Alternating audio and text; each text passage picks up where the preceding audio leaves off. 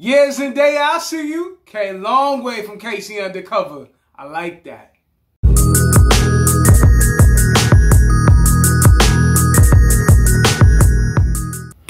Welcome everybody, I'm RJ of the Nerdy and here on this channel we talk TV, movies, and everything in between, all while drinking a cup of coffee. Now if you like one of those things or all of those things, why don't you consider like, subscribing, and hit that notification bell, and becoming a fellow Brewster. So today, fellow Brewsters, we are reviewing Malcolm and Marie, starring Zendaya, John David Washington, directed by Sam Levinson. So the premise of the movie is that uh, Zendaya and John David Washington are a couple, and John David Washington is Malcolm, who uh, just had this wonderful film premiere and accolades um, presented to him uh, because he made this tremendous and wonderful uh, movie that was his film debut.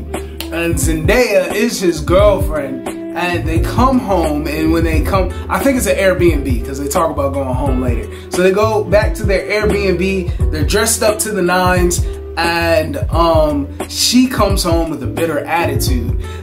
and the reason for her bitter attitude is that he didn't do his due diligence of um, giving credit where credit was due, uh, and I'll leave it at that. So they have this uh, night of after coming home from this event that was mostly about him, where that they have these uh, fluctuating conversations of love, hate, hurt, pain, um, uh, remorse. It is just very much uh, an emotional roller coaster that these two people go on where they talk about many facets of different things between the dynamic of their relationship and also about um, different issues that go along with the film community.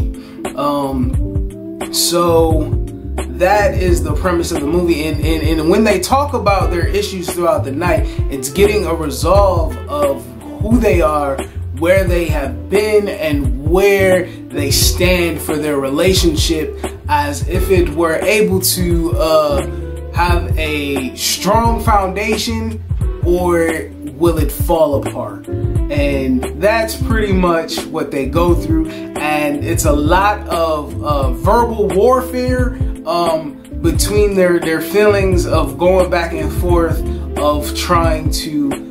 Uh, it's really much more so of them. I love you, I hate you, I love you, I hate you. Um, that is pretty much the the carousel or the merry-go-round of the movie, right?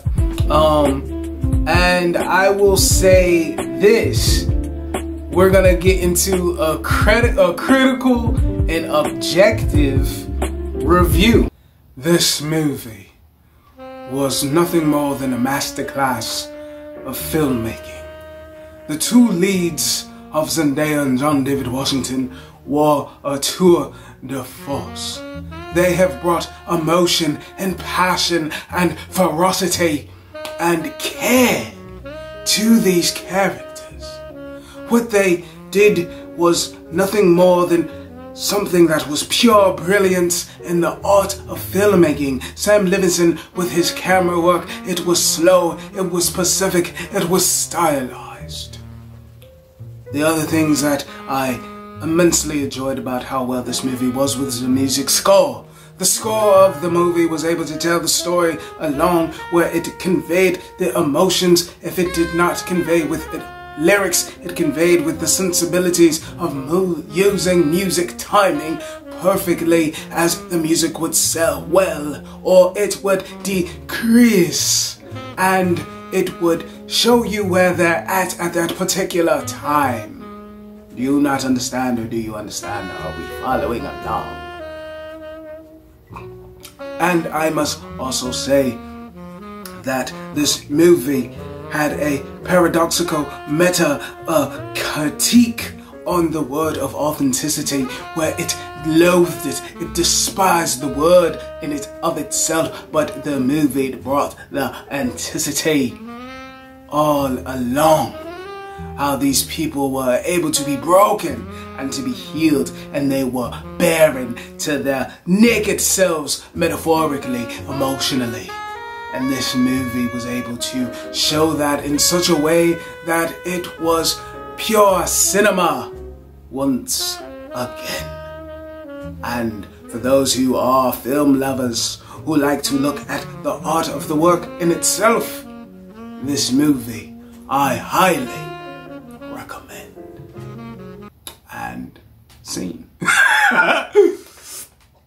Yo, uh, so for me, RJ, personally, the movie was straight booty juice. like, like I don't want to see a tumultuous, toxic relationship of uh, their own issues. Like for me, this is the nerdy brew, right? And I have no problem of talking about movies. I got another couple reviews coming on the way. You know what I mean? But my thing is this: uh, I want the escapism. I want the fantastical. I want the things that I have to question of physics. You know what I mean? Uh, Star Wars superheroes, explosions. Michael Bay is where my sensibilities is at for right now for my entertainment of enjoyment. You know what I mean? So all of this back and forth, like the movie was like it was, it was beautiful to look at I did like the music. The actors are doing tremendous and beautiful jobs in what they're doing for sure. But I will say that for myself personally, uh, subjectively, not objectively, and not uh, critically, but with a biased view, I did not like the movie. But being uh, trying to have integrity and honesty and not be um, subjective. The movie was done very, very well, but I personally didn't like it. I I don't want to see like real life stuff like like I mean I do like real life stuff, but I like um it being exaggerated. Like for example, Sons of Anarchies. I I don't know what the biker world is like whatsoever. You know what I mean?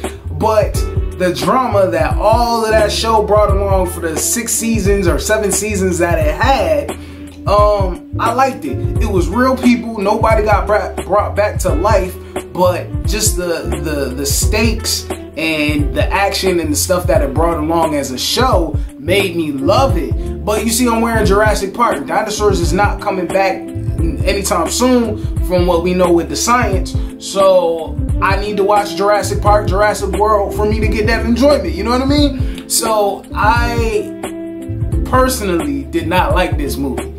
But critiquing it and having an objective uh, view of it, I enjoyed this movie. You know what I mean? So the movie was done very well.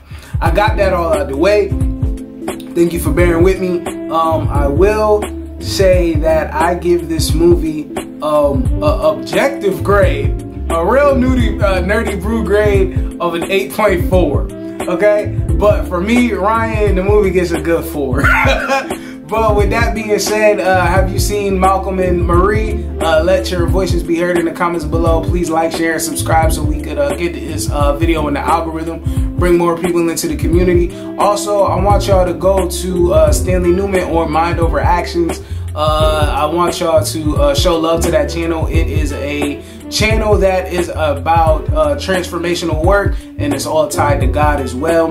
Um, so I wanted to bring that to your attention. Um, and I will leave his information is also on my page, but you can also go to the description box below. And um, I'm gonna bring this video to an end. Don't forget to comment, like, share, subscribe.